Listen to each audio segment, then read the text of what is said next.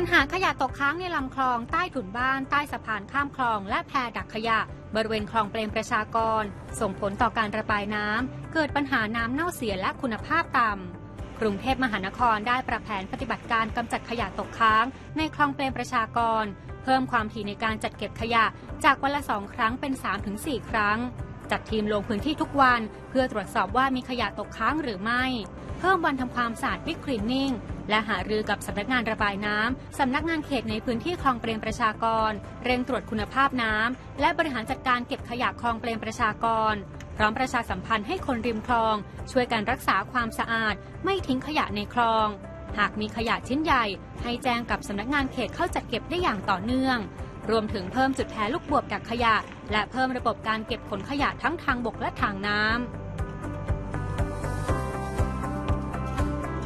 ก็ทุกวันพุธก็จะมีการทำจิตอาสาของทั้งไม่ใช่ไม่เฉพาะกรุงเทพโซนเหนือทั้ง 50 เขตก็จะทำนะครับเพียงแต่ว่าเราก็มาประเมินดูว่าที่ผ่านมาเนี่ยเราทำอาจจะยังไม่เพียงพอ เพราะว่าในปริมาณขยะหรือว่าคุณภาพน้ำในบริเวณอย่างตรงเนี้ยตรงคลองเป็นประชากรเนี่ยก็ยังไม่ดีขึ้น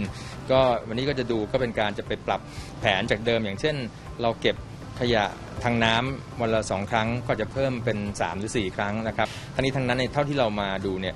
มีขยะมากมายทั้งขยะตั้งแต่ขวดถุงพลาสติกยันเก้าอี้ หรือว่าเป็นฟูกอย่างเงี้ยเพราะฉะนั้นเนี่ยทางเขตเนี่ยเขามีการจัดเก็บขยะชิ้นใหญ่ทั่วอาทิศอยู่แล้ว ก็ถ้าเกิดพี่น้องประชาชนท่านไหนเนี่ยต้องการจะทราบก็เพียงแค่โทรไปที่สำนักงานเขตก็จะทราบว่า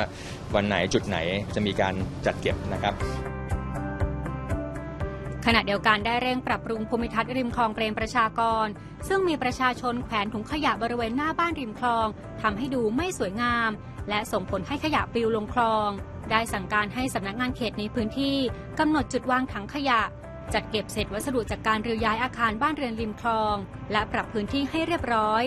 ส่วนอาคารบ้านเรือนลุกล้ำคลองเปรมประชากร อย่างอาคารบ้านเรือนที่ไม่มีผู้อยู่อาศัย และอาคารบ้านเรือนที่ก่อสร้างขึ้นใหม่ในพื้นที่รุกล้ำสำนักงานเขตจะลงพื้นที่สำรวจ และใช้วิธีเจรจากับผู้รุกล้ำให้รื้อย้าย กรณีที่ใช้วิธีเจรจาแล้ว ผู้รุกล้ำไม่ยินยอมรือย้าย ให้ดำเนินการตามกฎหมาย เพื่อพัฒนาปรับปรุงภูมิทัศน์ให้มีความสวยงาม เป็นคลองที่ทำหน้าที่ระบายน้ำในพื้นที่โดยรอบ เกิดคุณภาพน้ำดี ไหลหมุนเวียนแก้ปัญหาคุณภาพน้ำเสื่อมโทรมสร้างคุณภาพชีวิตที่ดีของประชาชนคนริมคลองทีมข่าวสิ่งแวดล้อม NBT